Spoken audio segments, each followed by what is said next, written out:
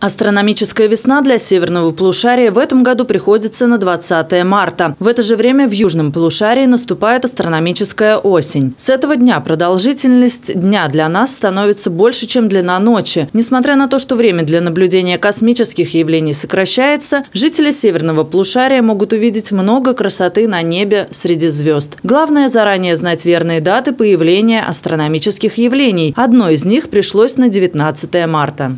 Выйдите под открытое небо, желательно где-нибудь подальше от фонарей, и увидите очень красивое явление в созвездии Тельца.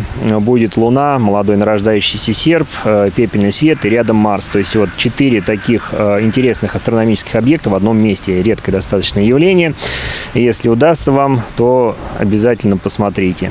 Это явление можно наблюдать на юго-западной части неба. Как и это, многие другие удивительные события на небосводе в этом году можно увидеть, как только стемнеет, а некоторые даже днем. В этом году у нас ожидается на Земле два солнечных и два лунных затмения. Первое солнечное затмение 10 июня будет примерно в 2 часа дня, 2 часа 30 минут. Э, мы можем увидеть Солнце с э, небольшим таким кусочком Луны. То есть Луна закроет Солнце примерно на 20%. В принципе, даже взяв просто какой-то фильтр там, от сварочного, сварочной маски или очень темные очки, посмотреть на Солнце, мы увидим, что Луну закрыло, Солнце закрыло кусочек Луны. Это явление можно наблюдать на территории Рязани. Другие солнечные затмения в России видно не будет. Однако в конце года, в районе 12 декабря, мы невооруженным глазом сможем увидеть новую комету, открытую в январе этого года. Ее назвали Леонард. Комета будет пролетать мимо Земли до того, как приблизится к Солнцу. Таким образом, не успеет разрушиться, как это произошло в прошлом году.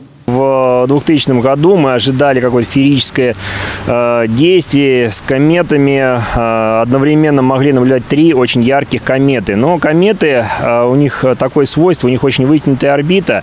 И когда они облетают вокруг Солнца, имея структуру рыхлого льда, э, они распадаются.